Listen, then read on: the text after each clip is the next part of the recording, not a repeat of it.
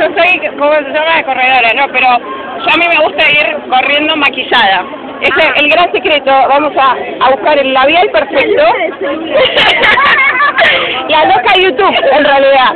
Eh, lo- eh, exactamente. Eh, ¿cómo, ¿Cómo hay que hacer para tener un labial perfecto para una carrera?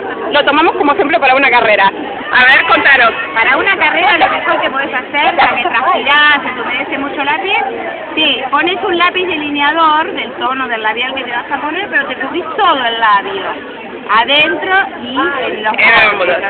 Luego te pones el labial y ese ese delineador va a hacer que el labial se te fije. Si no tenés un delineador, una base de maquillaje.